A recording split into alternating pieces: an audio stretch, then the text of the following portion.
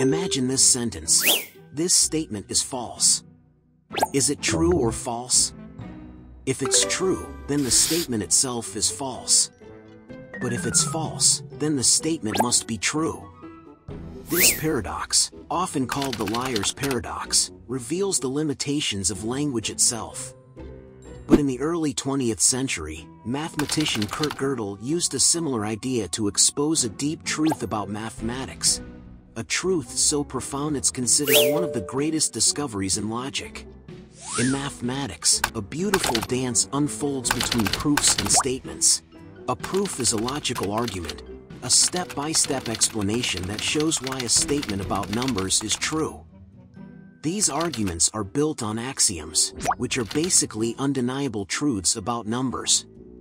Every mathematical system, from basic arithmetic to complex calculus, relies on these axioms. For centuries, mathematicians held a cherished belief that any true mathematical statement could be proven using these axioms. It was a dream of certainty, a belief that all mathematical truths could be laid bare through the power of logic. But the early 20th century brought a rude awakening. Mathematicians were grappling with new paradoxes that threatened this very certainty. One such paradox, Russell's paradox, nearly brought set theory, a fundamental branch of mathematics, crashing down.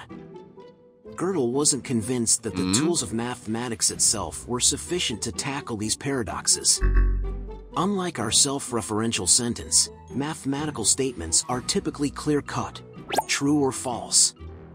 But Gödel, a true visionary, had a radical idea. He figured out a way to translate mathematical statements and equations into a special code. This allowed him to represent complex mathematical ideas with a single number. Here's the ingenious part.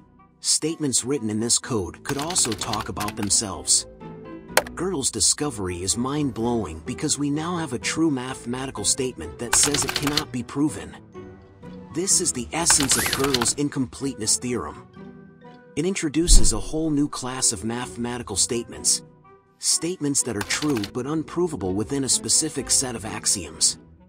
In Gödel's world, statements can be true or false, but true statements can also be proven or unprovable depending on the system of axioms you're using.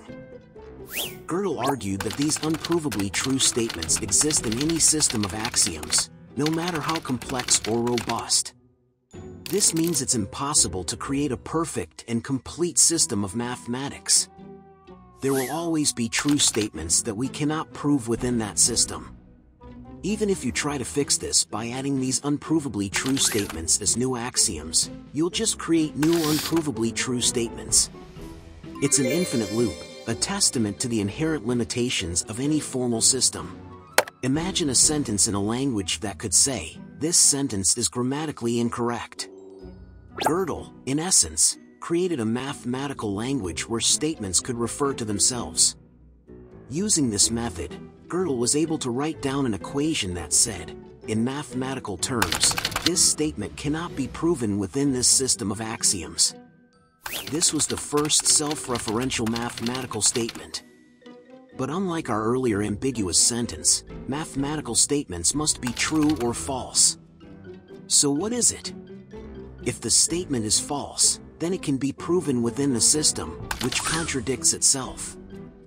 This contradiction shows that Gödel's statement can't be false, and therefore it must be true.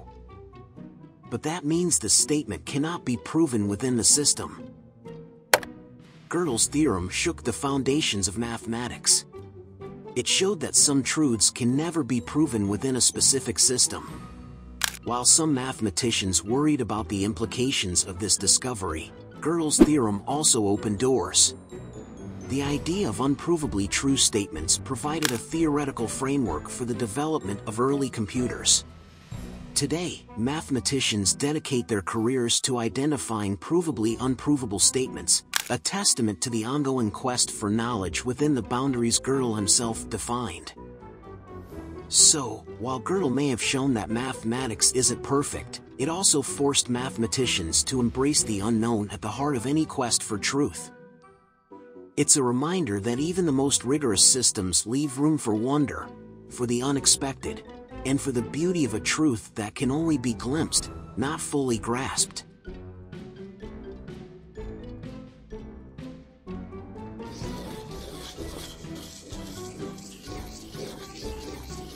This is the Brain Maze, signing off.